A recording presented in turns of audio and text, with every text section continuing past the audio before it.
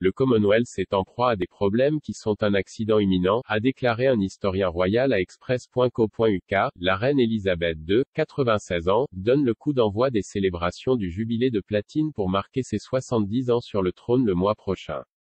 Dans moins de 15 jours, la monarque la plus ancienne de Grande-Bretagne conduira la nation dans un week-end férié prolongé du 2 au 5 juin pour marquer son règne historique.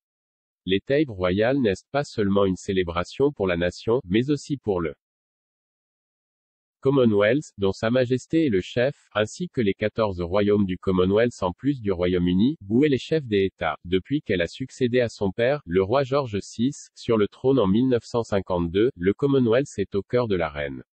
Le corps, qui comprend de nombreuses anciennes dépendances et colonies britanniques, figurera dans les célébrations du jubilé à travers le monde. Quelques 54 phares seront allumés dans toutes les capitales du Commonwealth, tandis que des déjeuners du jubilé sont également prévus dans les pays qui font partie de l'association politique.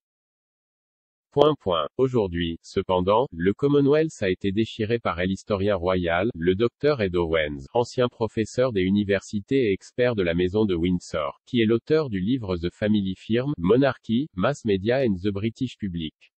1932 à 1953. Dans une interview avec Express.co.uk, il a affirmé qu'il y avait de nombreux problèmes, expliquant C'est une organisation très problématique, il est plein de contradictions et de problèmes et il est sans doute préférable d'éviter de nombreux aspects de la politique du Commonwealth.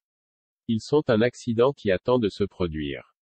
Le Commonwealth abrite environ 2,6 milliards de personnes, sur 7,9 milliards à travers le monde, et représente environ un tiers de la population mondiale.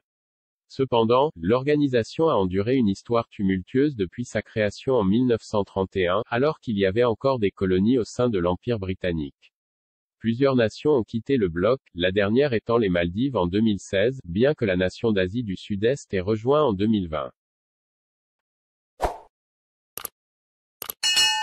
Say